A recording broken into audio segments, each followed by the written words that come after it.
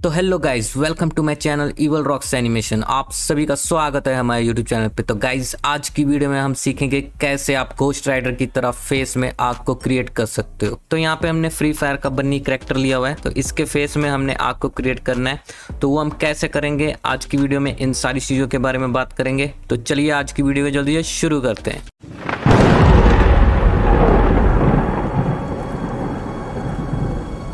तो गाइज़ यहाँ पे हम सबसे पहले अपने बन्नी करेक्टर को इम्पोर्ट कर लेते हैं और उसमें मटेरियल को लगा लेते हैं। अगर आपको नहीं पता है कि मटेरियल कैसे लगाते हैं और इम्पोर्ट कैसे करते हैं किसी भी करेक्टर को तो उसकी वीडियो मैंने ऑलरेडी बनाई हुई है। वो वीडियो का लिंक नीचे डिस्क्रिप्शन बॉक्स में मैं आपको दे दूँगा और ऊपर दिए गए आई बटन में भी क्लिक करके आप उस वीडियो में जा सकते हो। यहाँ पे आप करेक्टर के हेड को सिलेक्ट कर ले और यहाँ पे ऑब्जेक्ट में चले जाएँ। ऑब्जेक्ट में जाने के बाद यहाँ पे क्विक इफ़ेक्ट दिया हुआ है। इसमें चले जाएँ, इसमें जाने के बाद यहाँ पे क्विक स्मोक दिया हुआ है। तो इसमें क्लिक करके आप स्मोक को क्रिएट कर लें। तो यहाँ पे आप स्मोक डोमेन को आप सिलेक्ट करके मूव कर दे ऊपर की तरफ़। इसके हेड के बिल्कुल नीचे। इस तरीके से आप सेट कर लें। उसके बाद यहाँ पे आप सिर्फ़ प्लस ए प्रेस कर दें और यहाँ पे फोर्स फ़ील्ड में चले जाएँ। फोर्स फ़ील्ड में जाने के बाद यहाँ पे टर्बुलेंस दिया हुआ है। इसमें चले जाएँ और इसको हम मूव करके बिल्कुल इसके हेड के ऊपर ले आते हैं। उसके बाद आप यहाँ पे फिजिक्स प्रॉपर्टीज़ में चले जाएँ। फिजिक्स प्रॉपर्टी में जाने के बाद यहाँ पे स्ट्रेंथ दिया हुआ है। स्ट्रेंथ को आप पॉइंट फोर कर दें। और नॉइस अमाउंट दिया हुआ है नॉइस अमाउंट को भी आप पॉइंट फोर कर दें। फिर आप इसके फेस को सिलेक्ट कर ले और यहाँ पे फिजिक्स प्रॉपर्टी में फ्लूड दिया हुआ है। फ्लूड में यहाँ पे फ्लो टाइप स्मोक दिया हुआ है। स्मोक से आप यहाँ पे फायर कर दें और यहाँ पे नीचे फ्यूल के वैल्यू को आप वन से टू कर दें। उसके बाद सरफेस इमिशन के वैल्यू को आप वन कर दें। फिर इसके बाद नीचे आप टेक्सचर में चले जाए, इसको आप टिक कर लें और यहाँ पे टेक्सचर प्रॉपर्टी में चले जाएँ। टेक्सचर प्रॉपर्टी में यहाँ पे न्यू में क्लिक कर दें। फिर यहाँ पे नीचे टाइप दिया हुआ है टाइप में आप क्लाउड्स कर दें और इसके साइज़ को पॉइंट वन कर दें। फिर उसके बाद यहाँ पे नीचे हम कलर में चले जाते हैं। कलर में यहाँ पे हम कंट्रास्ट को बढ़ाकर फाइव कर देते हैं। फिर यहाँ पे आप फिर से आप फिजिक्स प्रॉपर्टी में चले जाएँ। फिजिक्स प्रॉपर्टी में जाने के बाद यहाँ पे टेक्सचर दिया हुआ है। टेक्सचर में जो हमने टेक्सचर को क्रिएट किया था, उसको आप सिलेक्ट कर लें। तो फिर आप यहाँ पे डोमिन को सिलेक्ट कर लें। तो हम इसको प्ले करके देख लेते हैं एक बार। तो यहाँ पे आप लोग स्क्रीन पे चेक कर सकते हो कि हमारा जो फायर है, वो कुछ इस तरीके से दिखाई दे रहा है। तो ये काफ़ी ऊपर जा रहा है, लेंथ जो है वो कम चाहिए। बाकी अगर आप लोगों को हमारी ये वीडियो अच्छी लग रही है तो प्लीज़ वीडियो को लाइक कर दें। फिर उसके बाद यहाँ पे आप स्मोक डोमिन को सिलेक्ट कर लें और यहाँ पे फिजिक्स प्रॉपर्टी में चले जाएँ। फिजिक्स प्रॉपर्टी में यहाँ पे रेजुलेशन दिया हुआ है। तो जितना ज़्यादा आप रेजुलेशन में वैल्यू को पुट करोगे तो उतना आपका जो फायर है, वो डिटेल में देखने को मिलेगा आपको। तो यहाँ पे हम 256 वैल्यू पुट कर देते हैं। बाकी आप लोग अपने अकॉर्डिंगली सेट कर लें। तो यहाँ पे नीचे एडेप्टिव डोमेन दिया हुआ है तो इसमें आप टिक कर दें। उसके बाद यहाँ पे आप नीचे चले जाएँ। नीचे यहाँ पे फायर दिया हुआ है। फायर को ओपन कर लें। वर्टिसिटी के वैल्यू को आप पॉइंट वन कर दें। और रिएक्शन स्पीड को आप थ्री कर दें। और फ्रेम एंड में हम कर देते हैं हंड्रेड तो अभी हम इसको प्ले करके देख लेते हैं। तो यहाँ पे आप लोग स्क्रीन पे चेक कर सकते हो कि हमारे फायर जो है, उसकी हाइट जो है, वो कम हो गई है। तो अभी ये देखने में भी काफ़ी अच्छा लग रहा है। तो अब यहाँ पे आप टाइप में दिया हुआ है रिप्ले रिप्ले से आप यहाँ पे कर दे मॉडुलर और इसके नीचे दिया हुआ है इज़ रिजेंबल तो इसमें आप टिक कर दें। उसके बाद यहाँ पे आप ऊपर चले जाएँ स्क्रोल करके। यहाँ पे बेक डाटा दिया हुआ है। तो यहाँ पे आप क्लिक कर दें। थोड़ा सा टाइम लेगा। तो डाटा बैक करने के बाद हम यहाँ पे कैमरा को ऐड कर लेते हैं। अगर आपको नहीं पता है कि कैमरा को कैसे ऐड करते हैं मल्टीपल कैमरा को कैसे ऐड करते हैं तो उसकी वीडियो मैंने ऑलरेडी बनाई हुई है, आप लोग जाकर चेक कर लें। बाकी मैं नीचे डिस्क्रिप्शन बॉक्स में लिंक दे दूँगा। उसके बाद आप यहाँ पे रेंडर प्रॉपर्टीज़ में चले जाएँ। रेंडर प्रॉपर्टी में जाने के बाद यहाँ पे रेंडर इंजन दिया हुआ है। यहाँ पे ईव से आप यहाँ पे साइकिल कर दें।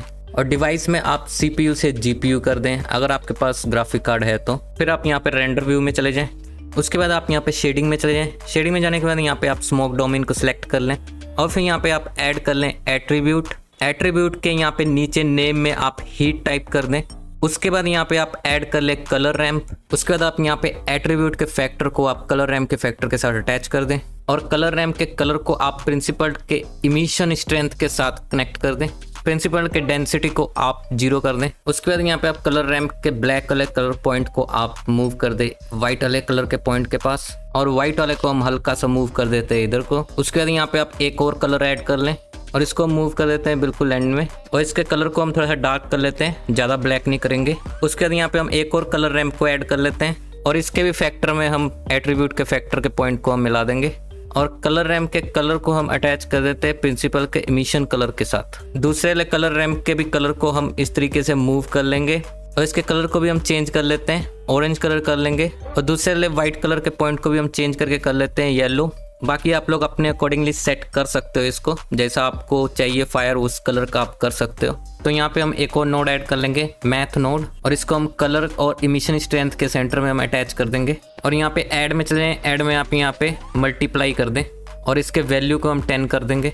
बाकी कलर वगैरह को आप लोग यहाँ से सेट कर सकते हो अपने अकॉर्डिंगली उसके बाद आप यहाँ पे वर्ल्ड प्रॉपर्टीज़ में चले। जाएँ वर्ल्ड प्रॉपर्टी में जाने के बाद यहाँ पे कलर दिया हुआ है। कलर में चले जाएँ।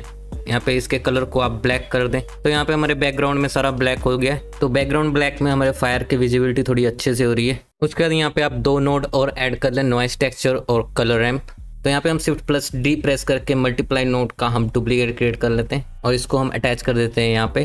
और नॉइस टेक्सचर के फैक्टर को हम अटैच कर देते हैं कलर रैम के फैक्टर के साथ। और कलर रैम के कलर को हम अटैच करते हैं मल्टीप्लाई के वैल्यू के साथ। और ये वाले कलर रैम के ब्लैक कलर कलर पॉइंट को हम यहाँ मूव कर लेते हैं हल्का सा। और नॉइस टेक्सचर के स्केल में हम कर देते हैं एट और डिटेल में हम कर देते हैं नाइन और डिस्टोशन में कर देते हैं वन बाकी आप लोग अपने अकॉर्डिंगली देख ले जितना भी आपको डिटेल चाहिए स्केल चाहिए। और मल्टीप्लाई के वैल्यू को बढ़ाकर कर देते हैं हम फिफ्टी तो यहाँ पे आप लोग स्क्रीन पे चेक कर सकते हो कि फायर हमारा जो है बिल्कुल सही तरीके से दिख रहा है। तो अब आप यहाँ पे कंपोजिटिंग में चले जाएँ। कंपोजिटिंग में जाने के बाद यहाँ पे यूज़ नोड्स दिया हुआ है। इसको आप एनेबल कर ले। तो उसके बाद यहाँ पे हम ऐड कर लेते हैं ग्लेयर नोड और इसको अटैच कर देते हैं यहाँ पे। उसके बाद यहाँ पे आप ग्लेयर नोड के ऊपर control shift mouse left button click कर दें। तो यहाँ पे आपका वेयर नोड ऐड हो जाएगा। और ग्लेयर नोड में यहाँ पे आप स्ट्रेक्स से फोक ग्लो कर दें। और थ्रेस होल्ड को आप ज़ीरो कर दें। साइज़ को नाइन कर दें। तो हम यहाँ पे रेंडर करके देख लेते हैं। तो यहाँ पे आप लोग स्क्रीन पे चेक कर सकते हो कि हमारा फायर जो बिल्कुल सही तरीके से क्रिएट हो गया है। तो अब हम यहाँ पे अपने क्लॉक टावर को इम्पोर्ट कर लेंगे लाइट को क्रिएट कर लेंगे और इन्वायरमेंट को लगा देंगे। तो अगर आपको नहीं पता है कि लाइट सन कैसे ऐड करते हैं तो उसकी वीडियो भी मैंने ऑलरेडी बनाई है, वो भी वीडियो आप लोग जाकर चेक कर सकते हो। तो गाइज़ आज की वीडियो हमारी यहीं तक थी। तो मिलते हैं हम नेक्स्ट वीडियो में। Thank you for watching this video